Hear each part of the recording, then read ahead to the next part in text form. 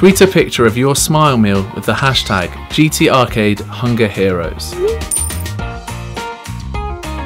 From August 12th to August 18th, live stream your GT Arcade gameplay.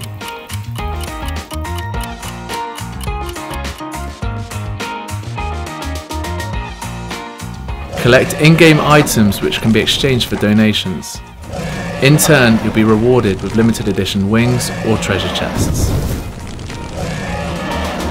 GT Arcade Hunger Heroes Gaming Marathon is coming. For 10 years, we've been incredibly fortunate to bring simple joy to millions of players around the world through video games.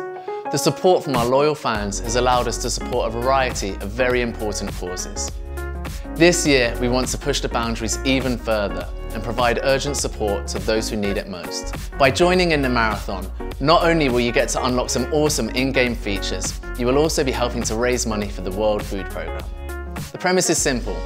The more you play, the more Yoozoo donates.